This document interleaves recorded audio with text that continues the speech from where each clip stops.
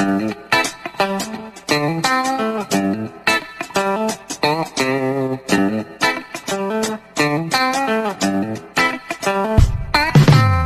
guys, uh, welcome po sa channel po natin. So, uh, meron po tayo ditong uh, washing machine na actually hindi po natin ito i-repair. So, na ang problem po nitong one po na ito uh, ay, as, ano na siya, yung sira po yung motor niya so napalitan ko na ito. Ngayon, uh, gagamitin lang po natin ito na uh, pang uh, uh, demonstration sa topic po natin ngayong uh, araw po na ito. So, bali, hindi pa po ito tapos kasi yung timer niya sira din. So, ito po yung timer niya, no, papalitan ko pa. So, gagamitin lang natin siya for demonstration. So, uh, bali, ang uh, topic po natin ngayon, guys, ay kung paano maiwasan na masunugan ng motor. Ano po, paano ma maiwasan na masunugan ng motor, masiraan ka agad ng timer, at saka yung uh, papaano maiwasan yung ground, paano yun ayusin kapag ka grounded yung uh, yung inyo pong spin dryer or uh, washing machine. So parehas lang po ng sa uh, setup kung paano ayusin yung grounded na washing at spin dryer. Parehas lang po sila ng procedure pala. Parehas lang sila ng procedure na gagawin. So, uh, uh, ito po ay request po ni Sir uh, Yuyu. Yan. So, uh, kasi may uh, nagtanong siya na kung paano daw po ayusin kapag ka grounded yung uh, dryer, spin dryer o washing. Ano may nagtanong din kasi about about washing naman yung isa. So uh, dadagdagan ko na lang po ano yung tips para maiwasan yung ano kasi magandang mga demonstration ito guys. Kasi yung motor po niya sunog. Ano po nasunog siya yung motor po nito. So sige guys, uh, simulan na po natin.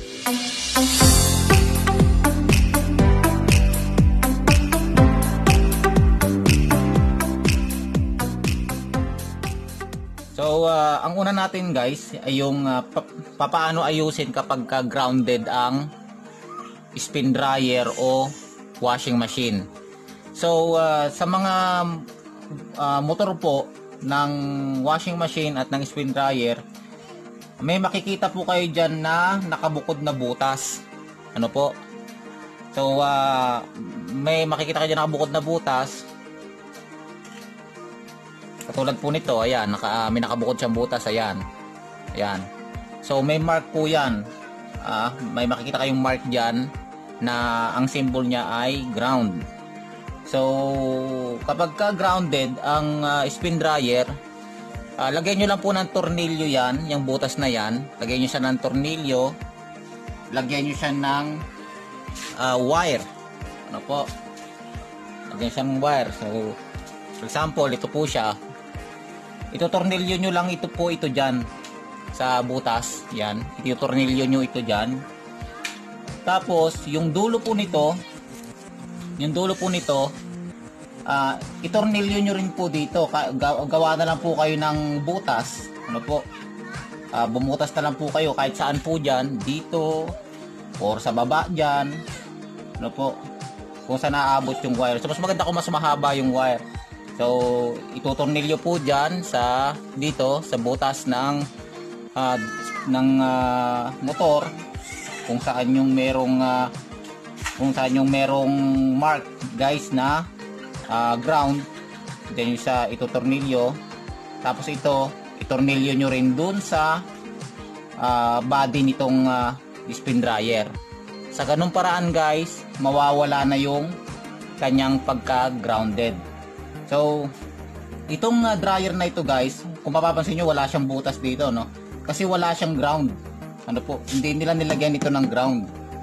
Na dapat, supposed to be, meron siyang ground. Kaya lalagyan ko pa rin po ito. So, ganyan, bubutas na lang dyan.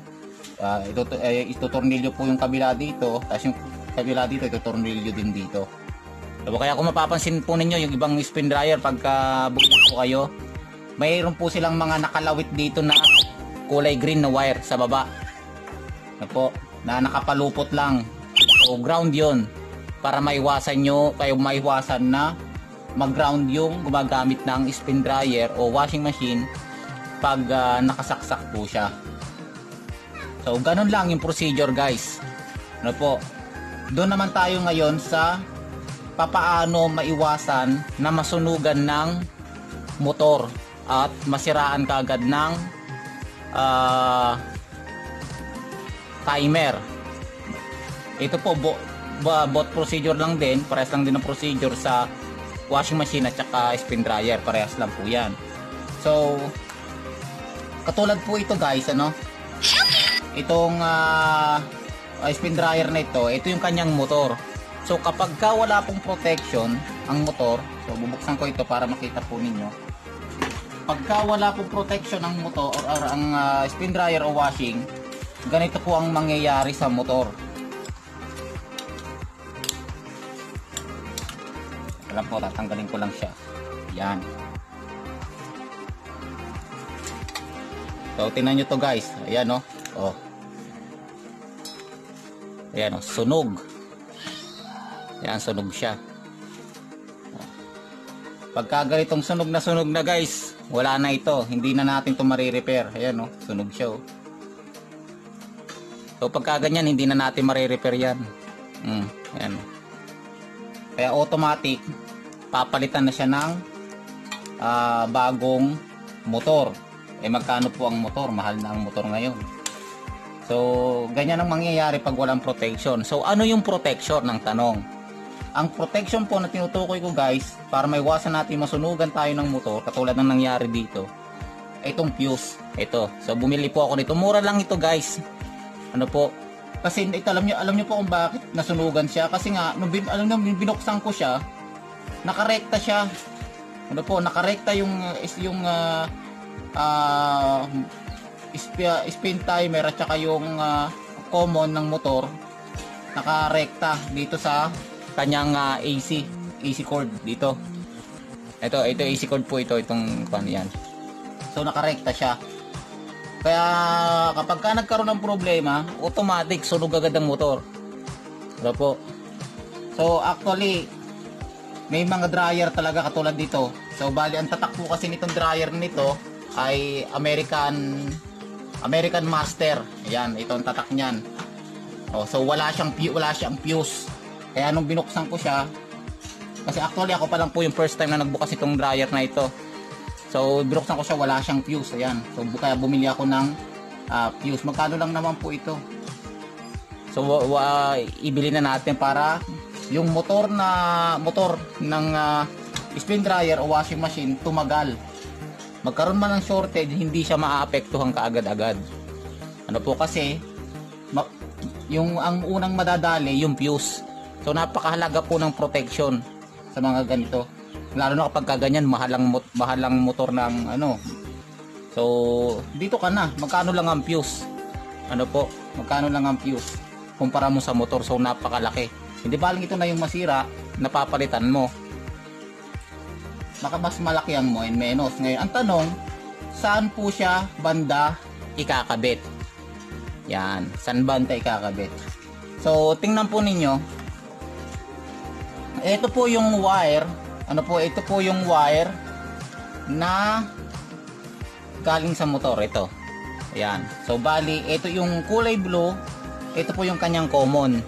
Common ng motor. So, diretso po yan sa AC. Ngayon, yung fuse, palagi, dito po natin siya ilalagay sa uh, line na papunta sa timer. Yan, dito po natin siya palagi ilalagay. Huwag po natin siyang Huwag po natin siyang ilalagay dito sa uh, common na itong itong AC line na papunta sa common. Huwag po natin siya dito ilalagay. Kung dito natin siya ilagay sa uh, line na papunta sa timer. Bakit po? Bakit sa timer natin siya ilalagay? Kasi po yung timer po ang may access sa pagpapaikot ng spin motor at saka ng uh, washing machine motor. Timer po lagi ang may access diyan. Kaya kung mapapansin po ninyo, pag nasira yung timer, hindi siya iikot. Pag nagkaroon ng problema, lalo sa, sa washing po, pagka nagkaroon ng problema ang timer, sa washing, kadalasan nangyayari, kung hindi siya umiikot, o hindi siya nagre-reverse. Ganon. Iikot siya, magpo-forward siya, pero hindi siya nagre-reverse. So, bali, ang kabit po natin dito. Para pag nagkaroon ng shortage, mapuputol po ito. Hin- ngayon, yung ah, timer, hindi siya magpa-function ngayon. Hindi aandar yung motor. So, ganun po. Ang, kaya, ang mangyayari, protected siya. Tatagal ang appliances pag ganun po. So, ganun lang guys. Yun, yun lang po yung ah, tips na nais ko pong ibahagi sa inyo. No po, para maiwasan natin masunugan ng motor. Lagyan natin siya palagi ng protection. Ito, use. At ikakabit natin siya sa line na papunta sa timer. Hindi po rito sa common ng motor. At doon naman sa ground, tornilyuhan lang po natin yung sa may butas ng ah, motor na meron siyang mark na ground o symbol na ground connect lang po natin doon is tornil- tornilyo natin tsaka natin tornilyo dito sa body ng ah, spin dryer o washing machine so ganun lang po siya guys. So sana po ah, nakapagbahagi po ako sa inyo ng ah, konting idea ano po para tumagal yung unit po natin at may iwasan po natin yung makuryente at uh, syempre guys kung ah, bago lang po kayo sa channel ko ah, huwag nyo naman po kalimutan mag subscribe guys. Ah, click nyo na rin po yung ah, notification bell po natin para updated po kayo pagka may mga bago po tayong mga video maraming maraming salamat po guys. At ah, God bless po sa inyong lahat